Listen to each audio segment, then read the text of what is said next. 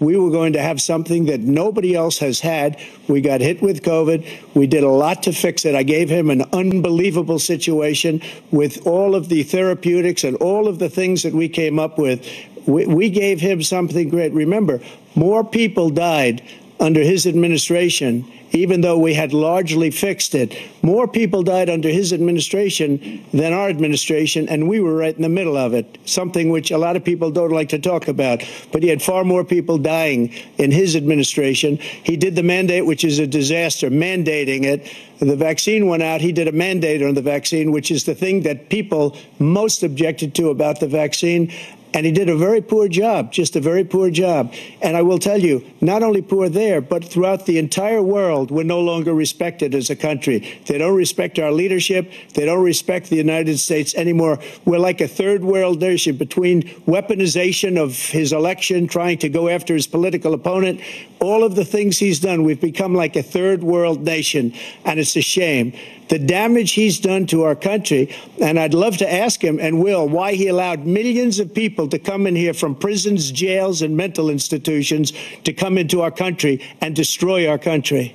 President Trump, we will get to immigration uh, later in this block. President Biden, uh, I want to give you an opportunity to respond to this question about the national debt. He had the largest national debt of any president in a four year period, number one.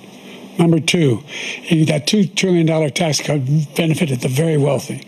what I'm going to do is fix the tax system. For example, we have a thousand trillionaires in America. I mean, billionaires in America. And what's happening? They're in a situation where they, in fact, pay 8.2% in taxes. If they just paid 24%, 25%, either one of those numbers. They'd raise $500 million, billion dollars, I should say, in a 10 year period.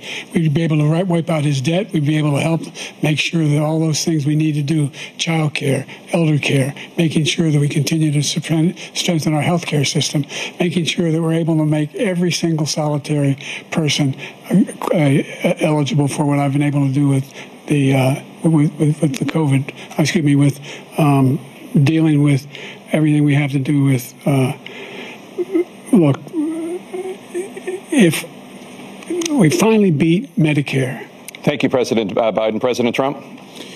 Well, he's right. He did beat Medicare. He beat it to death, and he's destroying Medicare because all of these people are coming in. They're putting them on Medicare. They're putting them on Social Security. They're going to destroy Social Security. This man is going to single handedly destroy Social Security. These millions and millions of people coming in, they're trying to put them on Social Security. He will wipe out Social Security. He will wipe out Medicare. So he was right in the way he finished that sentence.